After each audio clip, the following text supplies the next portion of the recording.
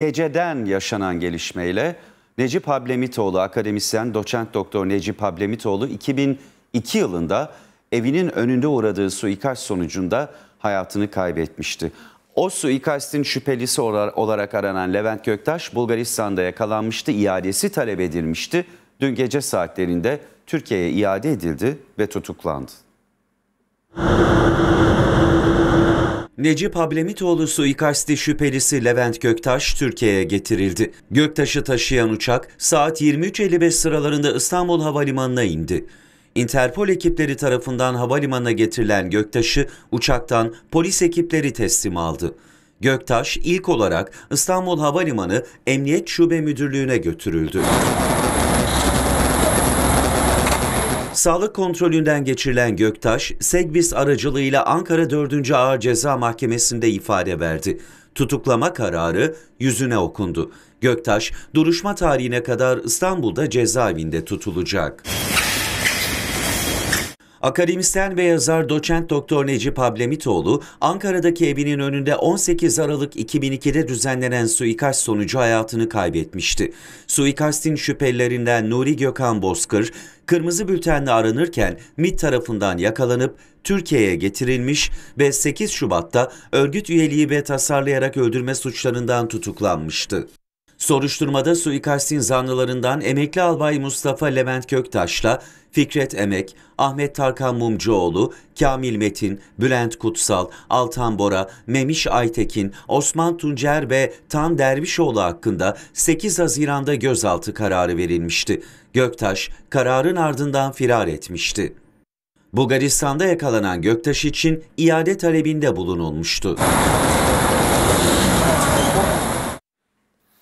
İstanbul Büyükşehir Belediye Başkanı Ekrem İmamoğlu'na verilen 2 yıl 7 ay 15 günlük ceza ve siyasi yasak kararı hala Türkiye'nin gündeminde. Cumhurbaşkanı Yardımcısı Fuat Oktay'ın da gündemindeydi. Dün akşam bütçe görüşmelerinde bütçe kabul edildi dün. O sırada bir konuşma yaptı. Bu konuya da değindi Sayın Oktay ve şöyle dedi. Kararı veren mahkemedir, düzeltileceği yerde yargıdır. Kararı hakkında beyanda bulunmamız mümkün değildir. Yargısal süreçler devam etmektedir. Yani karar henüz kesinleşmemiştir. Kararı verecek olan ne yürütme ne Türkiye Büyük Millet Meclisi ne de karalama siyasetiyle muhalefettir. Şayet verilen kararda herhangi bir eksik veya yanlış varsa bunun düzeltileceği yer yine yargı kademeleridir. Mahkeme kararlarının arkasında siyasi akıl aramak siyasal akılsızlığın ta kendisidir. Bugüne kadarki safahatı ve bundan sonraki süreci açıkça ortada olan bir konuyu mitinglerde ateşli beyanatlarla asıl bağlamından kopartılmış çıkarsamalarla gündeme getirmek niyetin başka olduğunun ifadesidir. Konu eski AKP milletvekili Hüseyin Çelik'in de gündemindeydi. Dün akşam Halk TV ekranlarında yayınlanan Perdenin Önü Arkası programına katıldı Hüseyin Çelik. Bu kararın verilme sürecine ilişkin 3 ayrı ihtimalden bahsetti ama hangi ihtimal olursa olsun karar sıkıntılıdır dedi. Diyelim ki bu mahkeme siyasi iradenin talimatı, telkini veya tavrı üzerine böyle bir karar verdi eğer bu böyle bir şık varsa, eğer söz konusuysa böyle bir ihtimali bile düşünmek istemiyorum. Eğer böyle bir şey varsa bu çok vahimdir. Adalet mekanizması açısından çok vahimdir. Ee, bundan önceki süreçlerde de hep şunu söyledim. Eğer bir ülkede adaletin gücü yoksa orada gücün adaleti devreye girer ve gücün adaleti her zaman zalimdir. Kimde olursa olsun gücün adaleti her zaman zalimcedir. Birinci ihtimal bu. Bu çok vahim olur. İkincisi diyelim ki yani böyle bir şey söz konusu değil ama bu kararı veren merciler iktidara ve hükümete yaranmak için böyle bir karar verdiler. Şirin görünmek için, hoş görünmek için, tayin terfi konusunda avantajlı hale gelmek için diyelim ki böyle bir karar verdiler. Ve bu daha da vahimdir. Bu şu anlama gelir. Demek ki yargı büsbütün siyasete angaje olmuş durumda. Daha doğrusu iktidara angaje olmuş durumda. Ve eğer böyle bir şey varsa bu bu yargı tarafsız da değildir. Bu yargı bağımsız da değildir. Bu daha da vahimdir. Üçüncü bir ihtimal var. Türk iktidarın imajı kötü olsun diye Türkiye'de e, efendim e, demokrasi yok, insan hakları yok. Bakın insanların önü kesiliyor. imajı oluşturmak için eğer böyle bir karar verildiyse bu da hükümetin lehine olmaz, Türkiye'nin de lehine olmaz. Bizim dünyadaki itibarımızı ve görüntümüzü maalesef çok kötü bir hale getirir. Hangi yönden bakarsanız bakın e, öz- özellikle bu son derece sıkıntılı bir karardır. Kur korumalı mevduat hesaplarında süre uzatımına gidildi.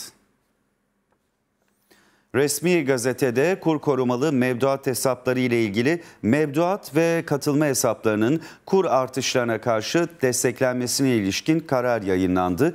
Karara göre kur korumalı Türk Lirası mevduat ve katılma hesapları 31 Aralık 2023 tarihine kadar açılabilecek.